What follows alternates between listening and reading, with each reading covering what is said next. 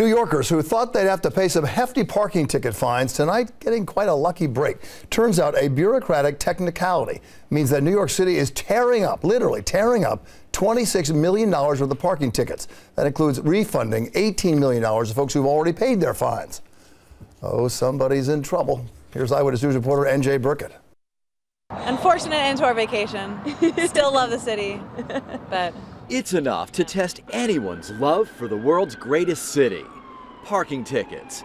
They'll set you back $65 in much of Manhattan and $205 if your car gets towed. And no, you don't want that. Amir Kaksar just moved here from Tennessee. We got there at 3:58 and the car was gone. It was crazy.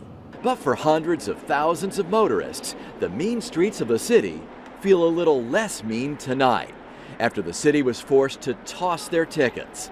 Earlier this year, the city changed the meter parking ordinance from 4-08H10 to the same number, just without the zero at the end. But it wasn't immediately changed on the tickets, so most Muni meter tickets issued between April and July were invalid.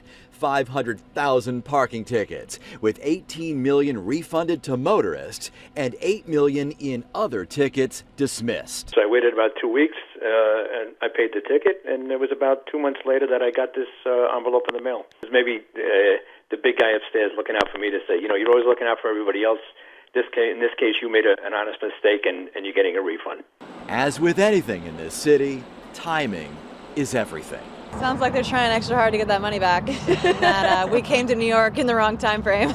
City officials first noticed the mistake this summer, but letters and refunds are still going out. So if you get an envelope from the city finance department, it might pay to open it up.